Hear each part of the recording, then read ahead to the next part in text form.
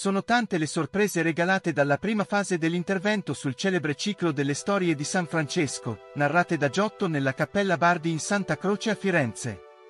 Sorprese che aprono un capitolo importante non solo nella storia del restauro, ma anche nella conoscenza del maestro, perché permettono di accostarsi anche al quotidiano operare del geniale artista fiorentino, che fu uno straordinario innovatore. Ad annunciarlo sono Cristina Acidini, presidente dell'Opera di Santa Croce, ed Emanuela Daffra, soprintendente dell'Opificio delle Pietre Dure, a cui il restauro è stato affidato.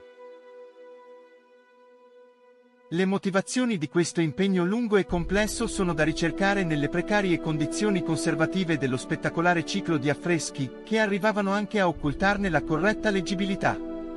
Molte preziose informazioni sono state raccolte a conclusione della prima fase del restauro, avviato nel giugno 2022.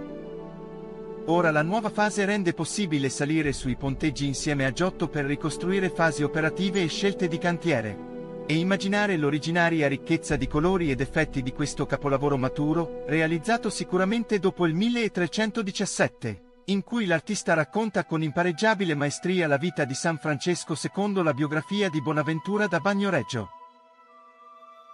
Dopo il Medioevo le pitture murali di Giotto, considerato non più alla moda, furono incredibilmente nascoste. Nel 1730 sono state infatti coperte da uno scialbo, cioè un'imbiancatura a calce. All'inizio dell'Ottocento vengono poi inseriti due monumenti funerari all'altezza del registro inferiore delle pareti laterali, che producono perdite irrimediabili.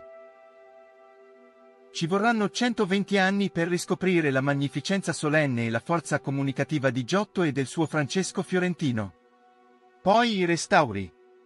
E ora la possibilità di vedere questo straordinario e commovente capolavoro, grazie alle visite guidate nel cantiere finalmente da vicino.